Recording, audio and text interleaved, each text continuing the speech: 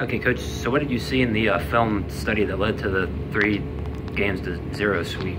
Uh, we knew they ran a 6-2 and they ran a rotation defense on our outside hitters, so um, we really wanted to pass well um, to try to get a seam in the block and then uh, hit the zone six. So um, Cam, Amanda, Peyton, Sion, they did a good job hitting on the pin for us.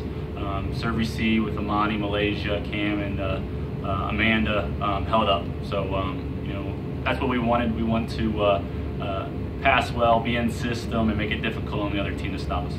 And what have been the key factors in winning seven out of the last uh, eight games now? Uh, our bread and butter is uh, to serve tough and to try to get them out of system and play uh, good defense around our block. Our block uh, isn't a huge block, but uh, it's disciplined where we can close our seam and funnel them to our best defenders. Uh, I think we're averaging close to about 17 digs, which is um, you know one of the best in the conference. So um, you know we're not going to block a whole lot of balls, but we are we, we do want to funnel that to our best um, defenders.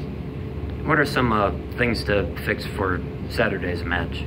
Uh, nothing really to fix. We missed a couple serves. Um, you know, wish we had back, but uh, you know, if we come out and play like we did tonight, uh, we'll be fine. We just got to make sure we're consistent.